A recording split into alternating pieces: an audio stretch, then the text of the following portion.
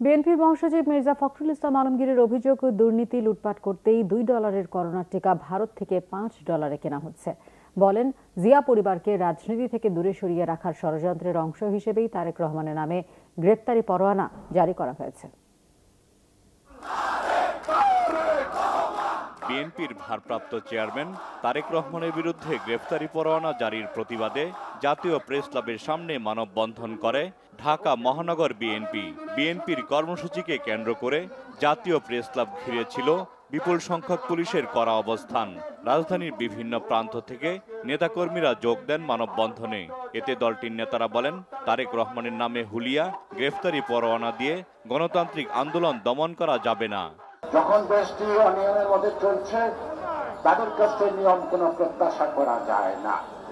অনুপস্থিত ব্যক্তির বিরুদ্ধে যে চার্জশিট গঠন করা যায় না, সেটাও দেখলাম এই পরোয়ানা জারির মধ্য দিয়ে তাই প্রমাণিত হয়েছে।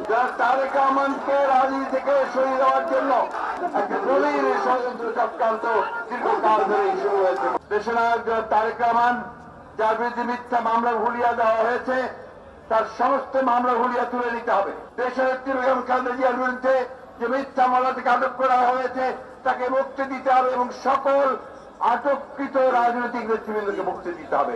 সরকার দুর্নীতি লুটপাট করে দেশকে ধ্বংস করে দিয়েছে বলে অভিযোগ করেন মির্জা ফখরুল। আপনারা চুরি এবং লুটপাট করে এবং আপনারা একটা ডাকাতি রাজত্ব প্রতিষ্ঠা করেছেন এই বাংলাদেশে। এই মহামারীকে আপনারা লুটপাট বন্ধ করেননি। আরও কি করে লুটপাট করবেন? এখন ভ্যাকসিন আমদানির মধ্য দিয়ে সেই লুটপাটের ষড়যন্ত্র করছে।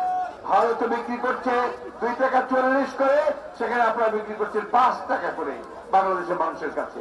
অর্থাৎ এই চুরির টাকা সম্পূর্ণ আপনারা নিয়ে যাবেন। গণতন্ত্র পুনরুদ্ধার এবং দুর্নীতি দুঃশাসন থেকে মুক্তি পেতে সবাইকে ঐক্য গড়ে তোলার আহ্বান জানান বিএনপির মহাসচিব।